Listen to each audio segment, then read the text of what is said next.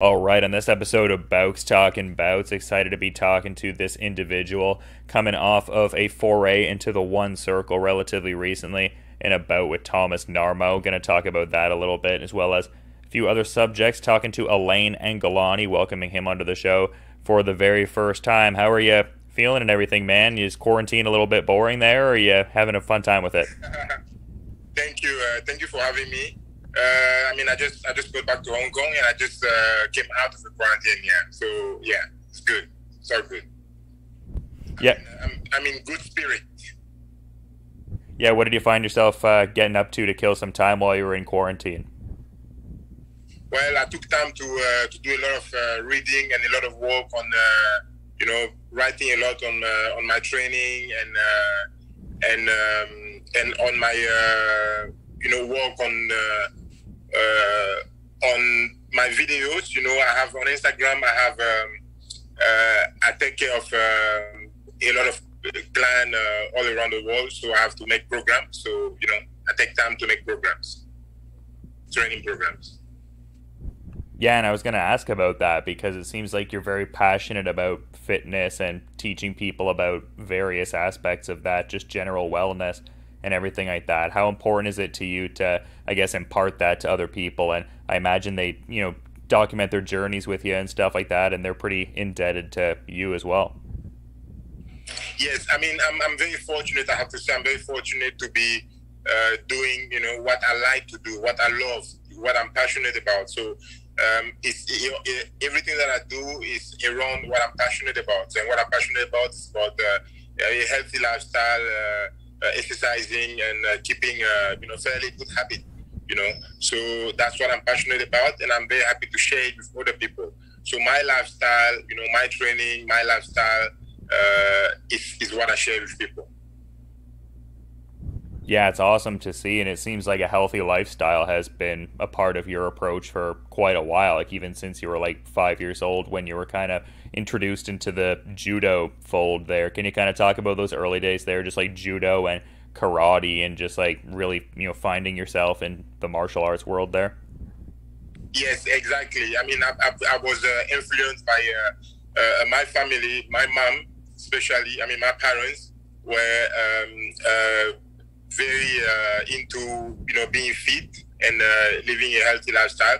Um, so my mom introduced us to, to martial arts very, very early in our you know in our upbringing. So when I was five years old, I started my martial arts journey, and then he never stopped. So I'm very thankful because that really has kept me you know away from uh, a lot of trouble. Uh, it kept me you know on the right path. It kept me uh, very centered in my life. Uh, it kept me you know very uh, also very knowledgeable and and you know knowing what I want and be passionate about something and and being disciplined. You know, it teaches you a lot of value. You know, value of uh, you know respect, about uh, honesty, about uh, hard work, and about the dedication. So all these value were taught to me by uh, martial arts, and I'm, I'm very grateful. So uh, it has made the man that I am today, and and that's that's you know that's you know I'm very grateful about that yeah, it seems awesome for just a general lifestyle consideration. And it also seems like the goal was, you know, always there to compete. Like, is that a fair characterization where you're always looking to, like, get out there and compete and express yourself? Yes. Look, um, earlier, uh, I mean, in a, as a family tradition, the parents always guide uh, the, the children onto a career path and then they kind of influence even your career path. So my parents was always about, you know, you should try to be a doctor, and this, this my brother should try to be a, a doctor, a, um, a, uh, a, lawyer, and this one should try to be this one. So they always influence the, your career path. But for me, even though they have influenced my career path and they wanted me to be a doctor, to study medicine, to do uh, uh, to do well in uh, mathematics, in physics, and so that I can know, focus on that path and be uh, and go to university and do science. Um, I was I love martial arts, and my dream was being able to be a world champion and able to own a martial arts center where I could uh, change people's lives, where I could, you know, introduce people to healthy lifestyle and give them healthy habits and you know, keep them uh, uh, fit, and you know, ultimately have around me, uh, you know, people who are, uh, you know, who feel, are feeling better mentally, physically, just the way I do, and just the way I, I thought it was uh, was the right way to be. You know, to be, you know, mentally, you know, healthy and, and fit and and happy. So I'm very happy that I focused on that. And when I could, I changed uh, at university, and then I, I went for I studied science, and uh, and I went to to to you know around the world competing and open my center, and and it's been a dream. It's been a dream. It's been a blast. Uh, today, I have uh, a lot of young uh, coming up uh, athletes and also uh, just uh, kids, school kids, and teenager people who are looking up to me. You know, all these kids are looking up to me, and and and you know, with my approach and my guidance, I'm very happy to say that I've been helping them a lot and guiding them into you know the right path and guiding them to choose you know the right lifestyle and to be healthy, to be passionate about whatever they want to do. And those are the values that martial arts teach you. So I'm very happy that today, you know, I use, you know, my approach and my influence to to to guide these kids, you know, we are in Hong Kong and all over the world. I have kids who contact me from all over the world, parents introduce me to the kids and and even if the kids were in trouble or doing the wrong thing, they, they find out that the kids uh, uh, can be influenced by me. And, when I talk to them, I connect with them very quickly, and it's, it's very easy for me to to um, you know to guide them and to, to connect with them and to influence them. And I'm very happy to be able to do that. Yeah, that must be amazing just being a role model for these young martial artists because I imagine there was a lot of martial artists that you looked up to that inspired you as well. Yes, definitely. I think I think it's just fair that you know I translate the, same thing. Uh, you know, growing up, we all are influenced uh, one way or another. Uh, I was influenced. I was influenced by uh, Bruce Lee. I was influenced by uh, Jean Claude Van Damme, uh, whom I know today. And uh, and it's only fair that you know uh, I've, uh, I, I receive like message from all over the world I have kids contacted me, and I'm, I'm, I'm very happy when I see that, especially when I see a kid trying to reach, you know, reach out to me and and and saying, you know, you are my favorite person in the world, or you are my favorite athlete, or or can I just, you know, my dream is to be able to to see you or to meet you or to train with you. You know, this is uh, is amazing, right? And and I take that opportunity to to get back to, to the kid and to help them, you know, any way that I can. So it's a, it, I've been doing that, and I'm very pleased. That really, it's a, it's a life fulfillment to be able to do that. You know, more than anything else that I get in my life, I think that's uh, that's my uh, legacy.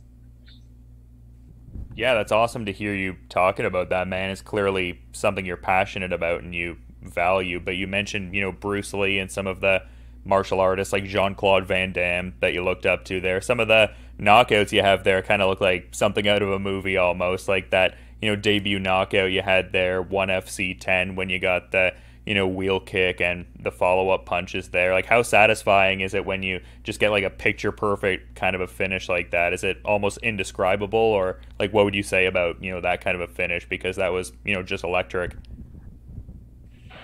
Yeah, I mean it's uh it's it's uh it's awesome. It's it's amazing, and uh, it's been a blast. It's been a blast, you know, to be able to step in there and uh, and come out with such a performance. You know, it doesn't always happen. You know, in training, I'm able to do a lot of things. I'm able to create, you know, a lot of movement and a lot of combination, and come out with some uh, some some really you know amazing uh, uh, uh, uh style and amazing combination.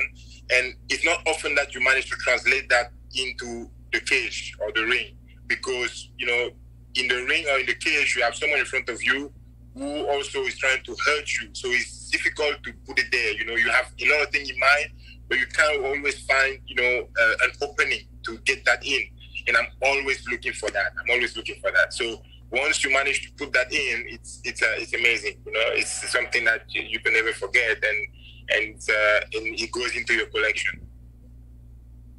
Yeah, and one other aspect of martial arts that I think is cool is instances of seeing just, you know, former opponents training together. And it seems like you were able to do that with Aung La N Sang relatively recently at Sanford MMA there. Can you kind of talk about those experiences there? Yeah, look, uh, I'm also very fortunate. Uh, fighting is uh, is uh, is uh, competing, traveling, meeting people, you know, making friends uh, uh, out of my opponent. Uh, you know, I, you know, my approach is different. My approach is like this. I'm when I'm going to competing, I'm, you know, I found it relaxed me to be friendly. It relaxed me to be friendly. Some people uh, to be able to get off the the emotion or the the um, because you know it's very stressful, right? To fight, it's very stressful. You get there, you're very nervous. You you know you're panicking. You you're nervous. You're sweating. And some people build a lot of anger. They they're very angry. You know, in the face to face, they even you know almost punch you or push you, shove you, swear at you. They don't want to shake your hands. You know, and so on. So that's how they react because of the insecurity and because of the the fear, right? They, they react like that to to feel better or to feel stronger, you know. But for me, being friendly, you know, shaking your hand, smiling, you know, being friendly is my approach. I feel better that way, and I'm really able to, you know, walk into.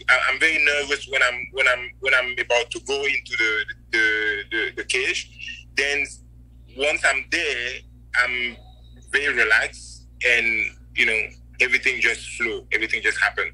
So um, is very nice. I, I, feel much better when I'm friendly, not when I'm angry. I don't need to be angry. I'm friendly. So, and that has brought me to to have a lot of friends out of my opponent.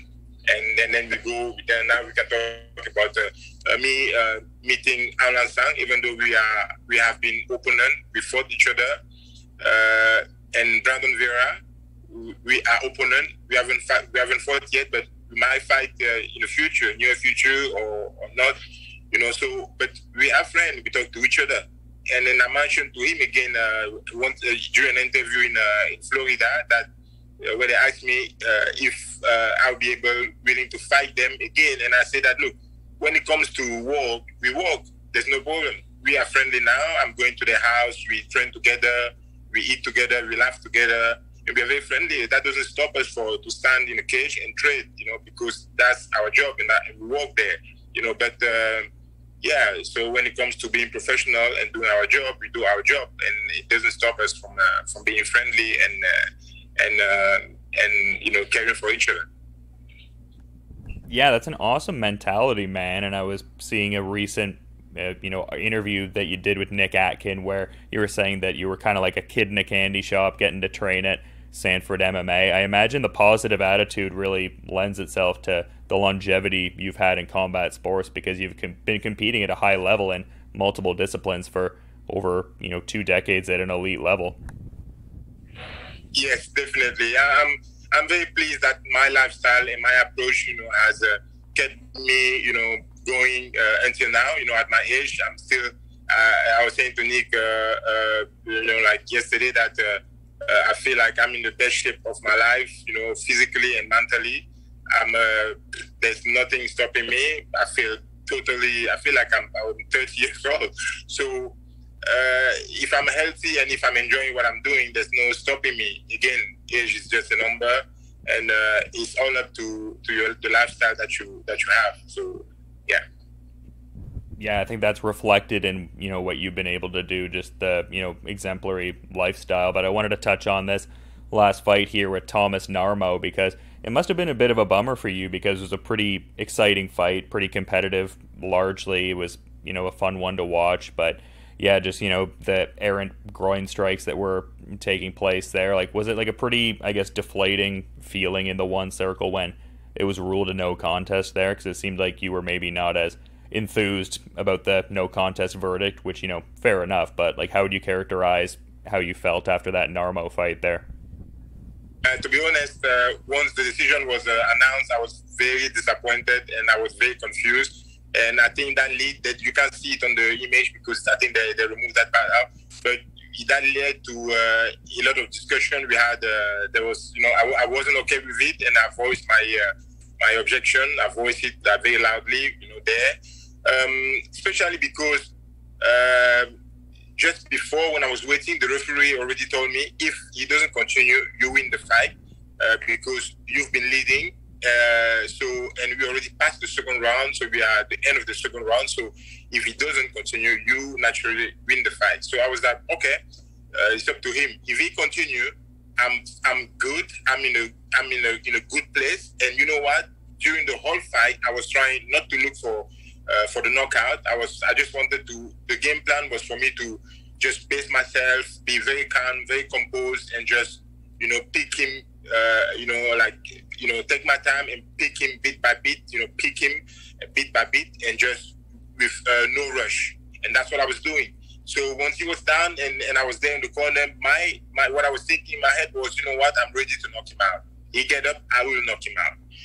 And then he didn't get up. But again, I knew that it was just uh, natural. It was just you know uh, very smart for him not to get up because I don't think there was anything else he could have done. He, he was done.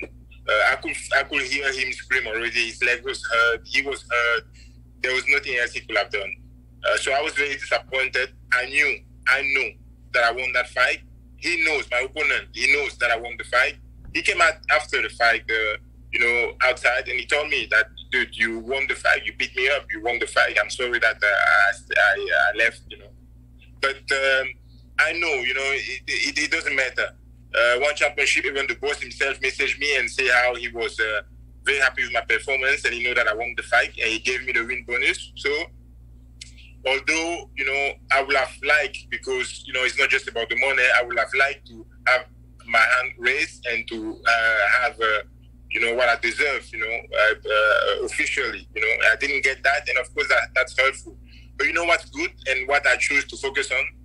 Uh, I receive a lot of message, both locally and internationally, from all my fans in Hong Kong and all over the world, and they see me as the champion and they praise my performance. So if I'm the people champ, I'm fine with that as well yeah, definitely the people's champion for sure, man. And it was just an incredible visual, just like the reach advantage he had, and just the ability that you had to like manage the range and stuff like that. It was almost like you had the reach advantage in certain regards there. But you had also mentioned in that Nick Atkin interview that I referenced that there were certain heavyweights that were kind of you know standing out, and that you'd maybe like to you know get in there for at least one more bout and 2021 like are there certain specific heavyweights that you would like to test skills against with inside the one circle or just more like let the matchmakers kind of figure something out? i'm trying to name anyone because uh, that's not my style but uh, like i said to nick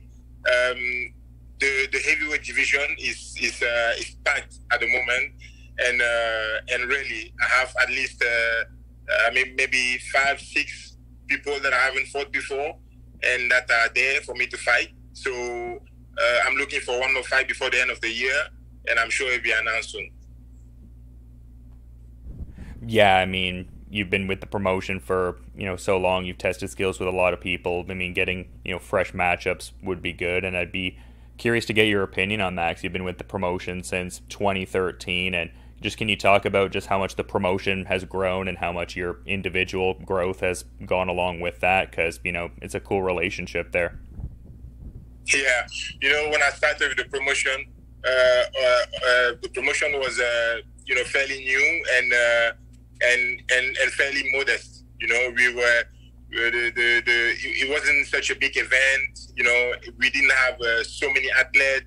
It's just amazing to see how far we have gone, how far the promotion has gone, and how far I have gone myself. You know, I started when I started the One Championship on my Instagram page. I had maybe I don't know two or three or four thousand followers. And when I done uh, that uh, that uh, that uh, highlight reel uh, knockout with um, Mahmoud Hassan in 2013, where I did the spinning heel, heel kick. once that video was published, I think my Instagram went from 4,000 to 100,000. And, and since then, I've been from 100,000 to now almost 700,000. So in both my social media, I'm over a million, you know, follower, and and that just say how far we have gone. You know, it, it's amazing. You know, the the, the outreach and and uh, has been incredible.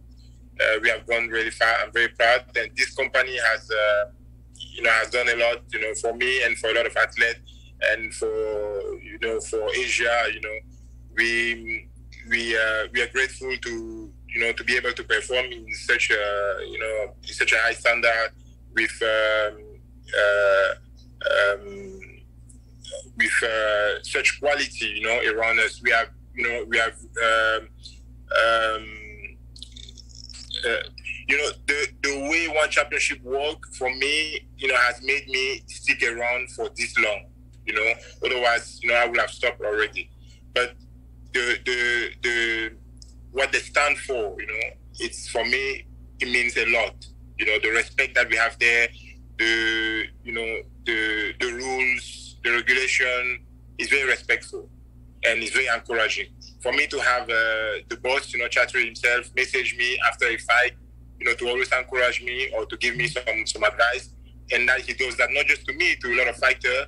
It, it's uh, that's a personal touch, and, and it's amazing, and, and that is very encouraging. So I'm very grateful.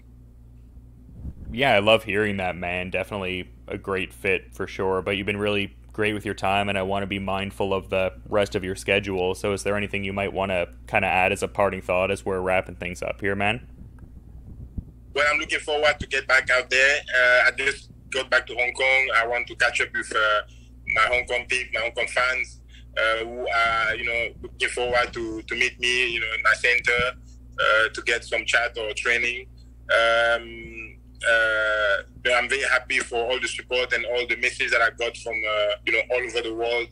I've got uh, thousands of thousands of messages, and and that's you know always you know very encouraging. And you know, God bless everyone, and I hope everyone keeps safe out there. Awesome message to end things off on from the People's Champion, and really looking forward to hearing news about that upcoming fight there, man. Thanks for the time, Alain. Hopefully, have you on the show again. Take, care. Thank you for having me.